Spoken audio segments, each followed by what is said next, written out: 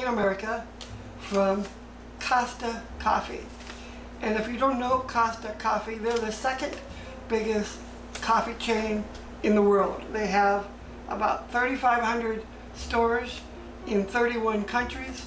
The reason why you may not have heard of them, they never sold their coffee in America till now. This is their signature blend. Supposedly it's one of their best blends. Uh, it came, I, I could only order it ground. They didn't have a whole bean option. It does have a best use by date, so I would kind of look at this as a second wave coffee maybe.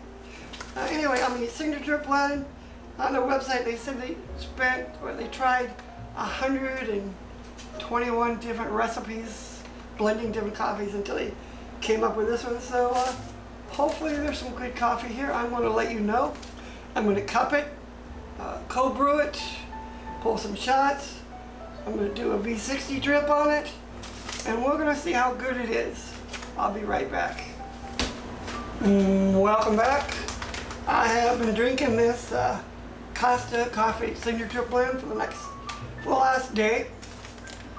And I'm going to let you know what I thought about it. I have uh, analyzed it, cold brewed it, V60, cupped it, pulled espresso shots with it. And uh, I'm going to say, they didn't offer a whole bean option. So I had to do the drip grind, but you know, I reground it to get my espresso shot. So I'm kind of disappointed they didn't offer a uh, whole bean option for a uh, company like that. Anyway, I'm going to let you know what I thought. So it made a decent cup of coffee. This is a V60.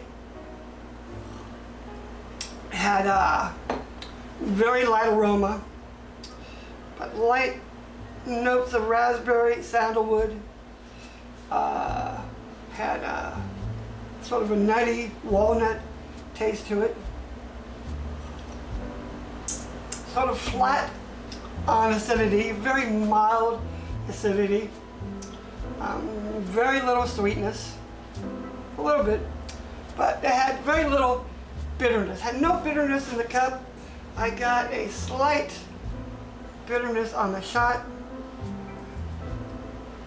I don't recommend, I gotta say, I do not recommend it for shots. And on the cold brew, it was kind of flat tasting too, so don't think I particularly recommend it for uh, that. But then for a regular morning straight cup of joe, you know, for a $10 a pound free shipping coffee off their website, it's pretty decent. It's okay.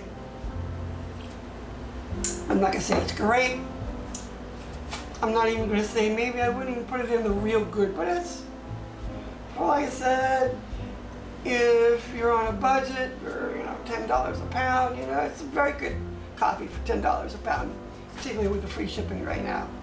So I'm going to let you know how I scored it. Oh yeah, on the Analyze, it was a 60, which makes it a city, full city coffee. Uh, I gave it an 8 on aroma.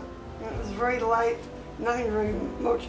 Uh, on the brewing, I don't know what the age, you know, they had a best use on date, which is about six months from now. So uh, anyway, it made very little bloom. When I brewed it in the V60, didn't really bloom much, but anyway. Uh, on the break, sort of hints of sandalwood, uh, like I said, walnut, uh, Flavor-wise, I gave it an 8.25. Aftertaste, a little bit of, you know, all right on the aftertaste, but still I only gave it an 8.25. Like I said, it's kind of flat on the acidity. I gave it an 8. Uh, sweetness, didn't have a slight sweetness to it, but not much. So I gave it an 8. Uh, bitterness, like I said, I didn't really get any bitterness in the cup or bitterness in the uh, cold brew or the cupping. But like I said, I did get some bitterness coming out of the shot. So like I said, that's why I wouldn't recommend it for shots. So I gave it a 9.25. Uh, mouthfeel, then again, 8.25, not super great, but not bad. balanced because it was light on the acidity. I gave it an 8.5. Uh, defects, odors, taste. There's nothing I found any defects, no odd odors to this coffee, so it scored a 10 on that. And overall drinkability, I gave it an 8.25. So like I said, if you're just looking for a good morning, whatever, sipping coffee for the day, that you know you keep around for parties for yourself.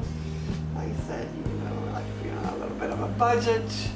Like I said, it was ten dollars a pound, free shipping, which is about half the price of what I pay for almost every other coffee I get. You know, my other coffees I get are 20, 22, 25 dollars. So for the price, it's a very good coffee. So anyway, that's my review. And uh, like I said, I'm still waiting for that coffee from uh, James Hoffmann's uh, roastery in London to come in. Uh, uh, anyway, the surprise espresso should be here soon. And I am going to review that next week. And if you haven't hit the subscribe button yet, please do if you want to see more coffee reviews. Uh, if you've got any value out of this review, please hit the like button. It really helps for people to find the channel. So anyway, have a good day.